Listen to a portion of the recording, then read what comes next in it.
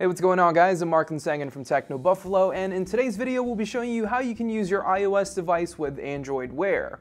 Sort of.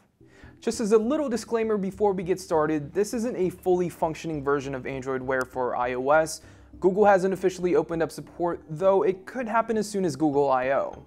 You'll only be able to receive notifications and nothing more. You won't be able to reply to messages, use Google Now independently, or really get the most out of what Android Wear has to offer. It's mainly for feeding you notifications, telling you what time it is, and showing you the battery life of your iOS device. There were a couple of essentials we needed in order to get this to work, an Android device, an Android Wear smartwatch, an iOS device, and two apps, Wear Connect for iOS from the Google Play Store and BLE Utility from Apple's App Store. Now, even though you need an Android device to set up your Android Wear for iOS, you don't actually need to be around the Android device to receive iOS notifications.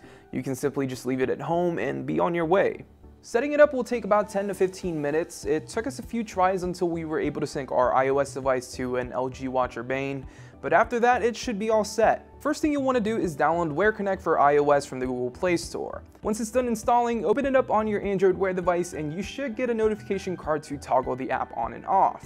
Enable iOS connection and swipe the card to the right to dismiss it, after the card is dismissed, you'll see a new card that pops up that says disconnected. Next up, download BLE Utility from the Apple App Store and once the app is installed, launch it and choose the peripherals at the bottom, tap the disconnected notification on your Android Wear device, and it should prompt you to enter a PIN on your iPhone. Enter the PIN found on your Android Wear device to your iOS device, and once that's done, you should be all set.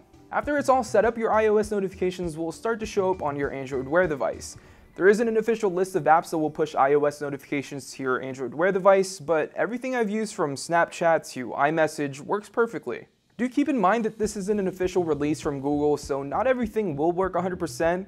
Google's I.O. conference is just right around the corner, and there's been a lot of talk about Android Wear playing nicely with iOS, so hopefully we'll see that very soon. If you guys have any questions or need help with a particular step, just leave them in the comment section down below and we'll try our best to answer your questions. If you guys enjoy this video, make sure to give it a thumbs up and we will see you guys in the next one.